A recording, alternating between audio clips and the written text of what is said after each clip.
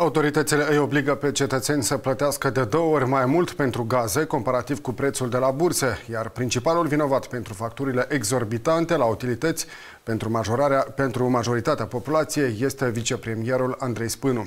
Această opinie a fost exprimată pe pagina sa de Facebook de către liderul partidului Șor, Ilan Șor. Politicianul de opoziție, Ilan Șor, a explicat de ce populația Republicii Moldova plătește astăzi aproape 30 de lei pe metrul cub de gaze naturale.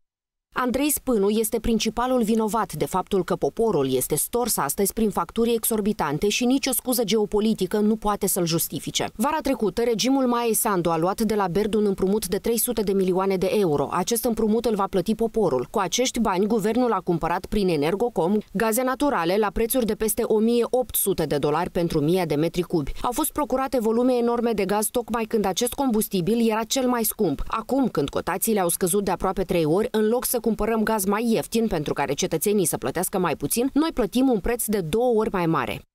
De asemenea, Ilan Shor s-a arătat nedumerit de ce prețul gazelor naturale pentru Moldova de la Gazprom este atât de mare în comparație cu prețurile de la bursă, 1230 de dolari pentru 1000 de metri cubi.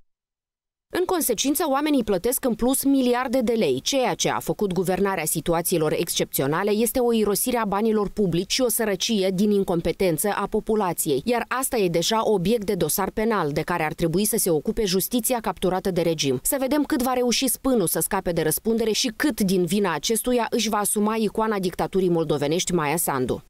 Pe 4 ianuarie, în cadrul emisiunii Puncte de reflecție de la Vocea Basarabiei, vicepremierul Andrei Spânu a declarat că Republica Moldova este asigurată cu gaze pentru toată iarna. El a explicat că Moldova, prin intermediul companiei Energocom, cumpără gaze de la burse internaționale la prețuri mai mici decât de la Gazprom, în jur de 900 de euro pentru 1000 de metri cubi. De menționat că începând cu luna octombrie anului trecut, Gazprom a redus livrările de gaze către Moldova cu 50% din volumul necesar până la 5,7 milioane de metri cubi pe zi, care practic în totalitate ajung în regiunea transnistreană. Moldova Gaz primește volumele de gaze naturale necesare de la Energocom.